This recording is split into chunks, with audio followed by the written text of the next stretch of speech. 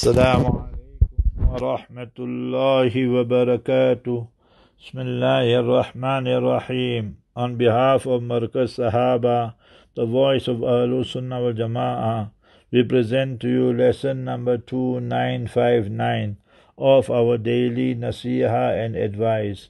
Today, with the grace and mercy of Almighty Allah Azza wa Jalla, we focus on the 14th of Jumad al-Akhirah. So yeah, and Abi Dharrin al-Ghifari radiallahu ta'ala an.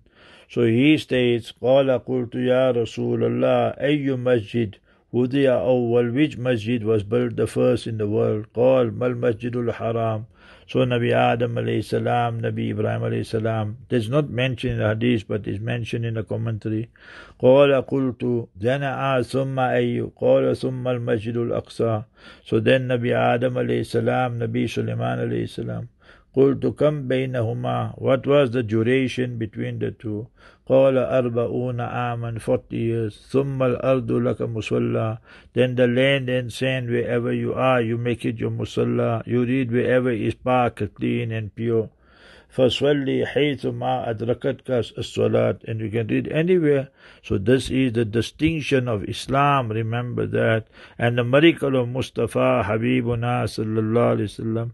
Obviously the best of the best is the men read in the masajid with jama'ah and the woman read at home and on the appropriate time, not the delay and so forth and so on.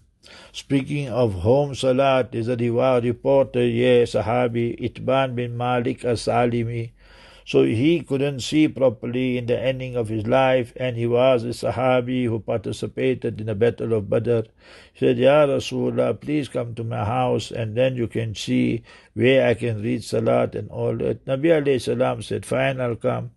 Then Nabi sallallahu alaihi went in the morning with Abu Bakr, and after you know, like 8, 9, 10 o'clock around that time there, was ta'adana, they sought permission, fa'adintu lahu.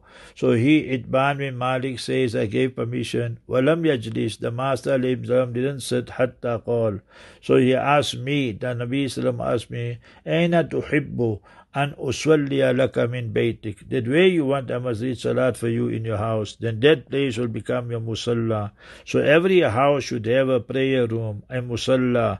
It won't be in the ruling of a masjid, but remember the woman in menses, all that can enter there, but at least the woman know this is a designated place.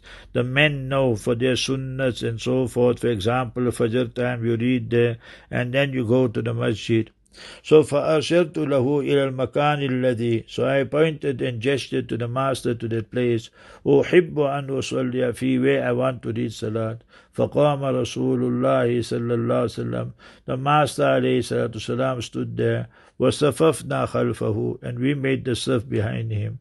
Sayyidina Abu Bakr Siddiq radiallahu an, and then him, Sayyidina Itban bin Malik and whoever else was there. فَصَلَّى بِنَا رَكَتَيْن and then read two rakat salat. So it shows that you can read two rakat nafil salat in jama'ah, two, three people, but not that you make big, big announcement and thus and tada'i and all that. So that is not permissible.